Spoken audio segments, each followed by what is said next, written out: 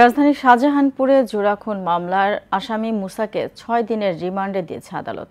এর আগে সকালে এক ব্রিফিংয়ে ডিএমপির অতিরিক্ত commissioner A K M Hafiz Akhtar জানান, আটক মুসা প্রাথমিক জিজ্ঞাসাবাদে হত্যাকাণ্ডে জড়িত থাকার কথা স্বীকার করেছে।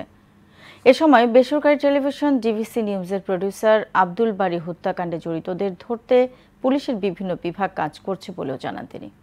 ইমার আসাদের রিপোর্ট।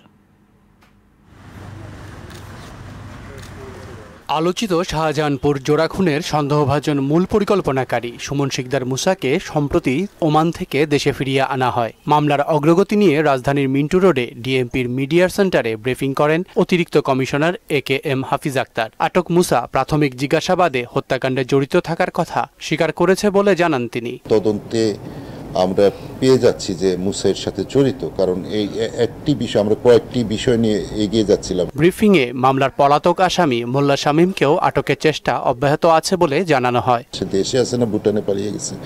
কীভাবে গেল পাসপোর্টে গেল নাকি বিনা পাসপোর্টে গেল এগুলো আমাদের একটা তদন্তের একটা ধারার মধ্যে আছে। সাংবাদিকদের প্রশ্নের জবাবে ডিবিসি নিউজের প্রডিউসার আব্দুল বারী হত্যাকাণ্ডে পুলিশের বিভিন্ন বিভাগ কাজ করছে বলেও জানান এই পুলিশ কর্মকর্তা। একদম এখনই আমরা সেভাবে বলার মতো কিছু পাওয়া যায় না তবে আমাদের তদন্ত অব্যাহত আছে। সেখানে আপনি শুধু ডিএমপি পুলিশ না পিবিআই সিআইডি সবাই মিলে কাজ করছে। এম আর আসাদ মোহনা সংবাদ ঢাকা। বিষয়টা